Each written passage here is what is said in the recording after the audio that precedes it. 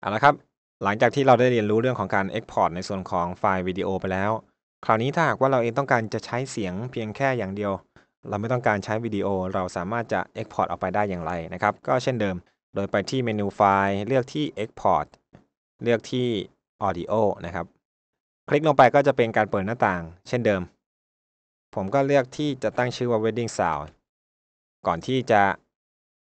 เลือกที่ Settings นะครับ มาดูถึงการตั้งค่ากันว่า สามารถจะตั้งค่าอะไรได้บ้างนะครับ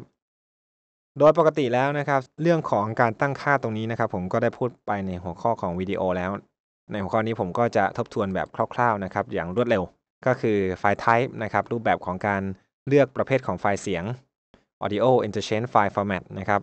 ก็จะเป็นไฟล์ที่ใช้เก็บเสียงในรูปแบบของ AIFF นะครับ ซึ่งเป็นรูปแบบที่นิยมใช้กันในเครื่อง Macintosh นะครับ PC ก็สามารถใช้ได้เช่นเดียวกัน QuickTime นะครับก็จะเป็นไฟล์เสียงประเภท QuickTime ที่เป็นมาตรฐานของ Macintosh นะครับ Windows AVI ก็จะเป็นไฟล์เสียงที่ให้คุณภาพเสียงเดียวกับไฟล์วิดีโอ AVI นะครับ ซึ่งเป็นมาตรฐานของ PC หรือว่า Personal Computer ต่อมาก็คือในส่วนของ Windows Waveform ก็จะเป็นรูปแบบของไฟล์มาตรฐานบนเครื่อง PC ด้วยเช่นเดียวกันนะครับ ต่อมาก็คือ Range นะครับ Range นั้นก็จะเป็นรูปแบบของ Entire Sequence ก็คือเสียงทุกเสียงที่อยู่ภายใน Sequence ของเรา Work Area ตรงนี้นะครับก็จะเป็นส่วนที่จะ render เฉพาะในส่วนของ Work Area ของเรานะครับ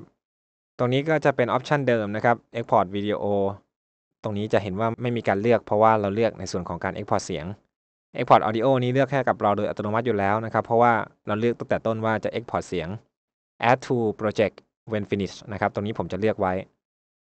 Beef in finish ผมไม่เลือกนะครับ ต่อมาก็คือในส่วนของ embedding options เช่นเดิมครับ ในส่วนของ non แล้วก็ project ก็จะเป็นการเรียกให้โปรแกรมนั้นเซฟค่าที่เราได้ตั้งไว้ ถ้าหากว่าเราเลือกที่ non นะครับ ก็จะเป็นส่วนที่สามารถที่จะเก็บค่าไว้ได้ โดยที่ไม่ต้องทำการตั้งค่า export ใหม่อีกครั้งหนึ่งนะครับ ถ้าหากว่าเลือกที่ project นั้น ก็จะเป็นการลบในส่วนของการตั้งค่าของเราออกไป แล้วก็ต้องมาตั้งค่าใหม่ทุกครั้งนะครับ แล้วก็มาดูในส่วนของ audio กันบ้างนะครับ audio นั้นก็จะมีรูปแบบของการบีบอัด เช่นเดิมนะครับ เหมือนกับในหัวข้อที่แล้ว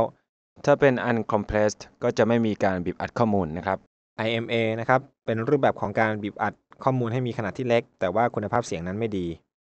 Microsoft ADPCM ก็จะเป็นรูปแบบของไฟล์เสียงประเภท ADPCM เช่นเดียวกันนะครับ ซึ่งจะเป็นไฟล์เสียงที่ถูกพัฒนาขึ้นจาก Microsoft ใช้ได้กับ CD-ROM ทั่วไป ซึ่งตรงนี้นะครับก็สามารถเลือกได้ตามที่เราต้องการ ซึ่งรายละเอียดนั้นผมได้พูดถึงในหัวข้อที่แล้วแล้วนะครับ Simple Rate นะครับเลือก Simple Rate ได้เช่นกันนะครับ ในส่วนของ Type ในส่วนของ Channel ต่างๆ Interleave ต่างๆ สามารถเลือกได้นะครับสำหรับการใช้งานในส่วนของ Audio เพียงเท่านี้นะครับการตั้งค่านั้นก็จะเหมือนกันหมดเลย เราก็สามารถคลิกที่โอเคแล้วก็คลิกที่ Save ได้เลยทันทีนะครับสำหรับการ Export ในส่วนของ Audio ตรงนี้ผมเลือกรูปแบบของเว็บนะครับ คลิกที่ Save โปรแกรมก็จะประมวลผล เสร็จแล้วนะครับสิ่งที่ได้ก็จะเป็นเหมือนกับเมื่อสักครู่เลยนะครับ แต่ว่าคราวนี้จะเป็นไฟล์เสียง ความยาวนั้นเท่ากันเลยเห็นไหมครับ เสียงก็เป็นเสียงเดียวกันถ้าเราเปิดดู จะเห็นว่าในส่วนของคลื่นเสียงนั้นก็เหมือนกันเลย นี่ก็คือการ Export ในส่วนของ